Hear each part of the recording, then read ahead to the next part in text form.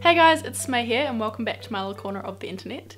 I recently realised that it's nearly been six months since I moved to England, uh, which is a bit insane. It definitely doesn't feel like I've been here that long, but on the other side of the scale it also feels like I've been here for a lot longer than six months.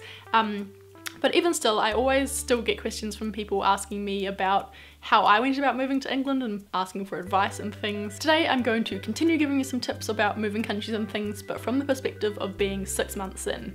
There were some things that when I first moved over were obviously priorities and were at the front of my mind. Things like finding somewhere to live, finding a job, um, and settling in and things like that. But even now, six months later, there's still some things that I guess I'm still settling into, um, so I thought that I might just run you through my list of those things. In England, a lot of things here are done by the book and processes take a lot longer, so with things like that, especially when I was looking for jobs, I found that a really hard process. There's still some jobs that I applied to uh, like a couple of weeks ago or even months ago um, that have only just been getting back to me to say you know, either come in for an interview or no thank you, we've found someone else. Um, and I've obviously got a job now, so I don't have to worry about that, but I think the job process was definitely the thing that I found the hardest. Um, I've written a couple of blog posts on this, so they'll also be linked in the down bar down below. One thing that I found really hard to get used to when I first moved to England was the transport. In New Zealand, I would just walk everywhere if I was going to uni, if I was going to work, if I was going to meet a friend.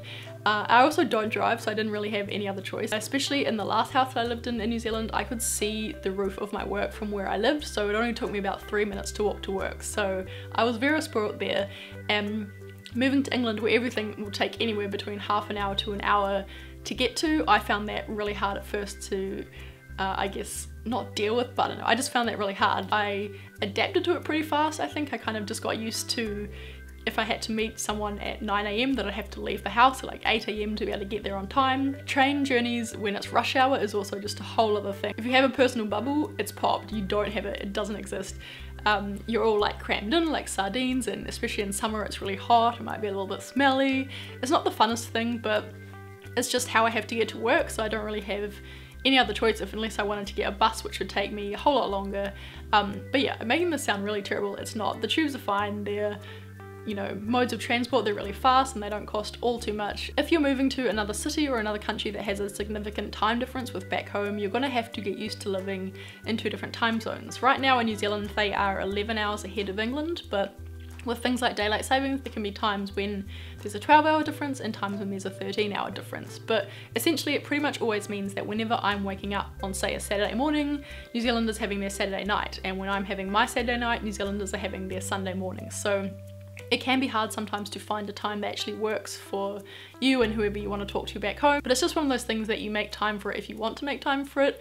Some of my friends back home I have definitely lost touch with because they were the type of people that I wouldn't really talk to on the internet. Like we'd see each other in person and have two hour long catch ups to discuss what our life had been like since the last couple of weeks since we last saw each other. Um, so I think that's kind of like a natural thing that we just lost contact because we weren't used to communicating online, uh, but with a lot of my friends, we would used to tweet each other or YouTube or whatever and always talk on social media. So there hasn't really been a change for them. It's just more been, I might reply to their tweet a couple of hours later than I normally would. Um, but yeah, the time difference is something that you easily get used to. I constantly have the New Zealand clock on my phone as well so that I know what time it is back home. A time difference does have its upsides though. Sometimes if it's 2am and I can't sleep, chances are one of my friends in New Zealand will want to FaceTime or want to have a chat on the internet. So yeah, it's really not all too bad. It also means that your birthdays last a lot longer as well because they're spread out over two time zones, so more times for celebrations. Another thing that I knew going into my move, um, but still was a bit shocking when I first moved over here, was just how everything is so expensive.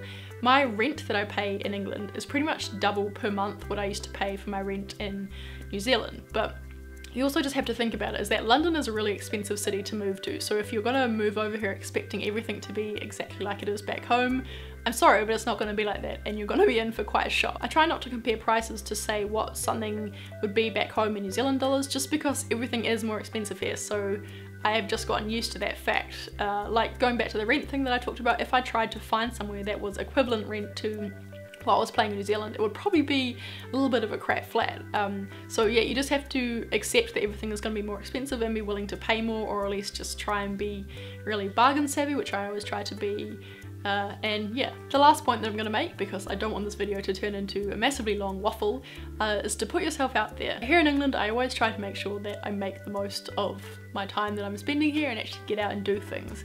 I think it's also a lot easier because London is a massive city like compared to New Zealand as well it's like completely massive. So there's just so much to do here. There's always someone to go and see or like a music gig going on or a big festival or something. There's always something to do which makes it very easy to get out and do things. Um, it also makes it easy to get out there and hopefully meet some more friends. I think especially if you're moving to a different country by yourself it can be really hard and really isolating. And I've seen that with some of my friends who have moved over here that they have struggled with not having that support system of their family and their friends and I guess the normality around them. I encourage you all if you are moving countries to go to a concert or go to go to the things that are going on in your city to meet new people. Uh, put yourself out there. If like me you make a lot of friends on the internet in a non-creepy way talk to people that are living in your city. See if they want to catch up for coffee um, but yeah, just try and keep up your social interactions and make a group of friends in your hometown because I think having friends definitely really, really helps. Uh, helps you support, it helps you feel a little less homesick and it makes you feel a bit less isolated as well. So that's all I'm going to talk about today. I hope this video was useful. Please give it a thumbs up if it was. And if you're new here and would like to see more of my videos, please subscribe. There'll be links in the down bar below to a lot more information about my experience in moving and different uh, tips and tricks I guess for if you're moving specifically to London so check them out if you're interested. I think that's all I have to say so I'll see you all next week. Bye!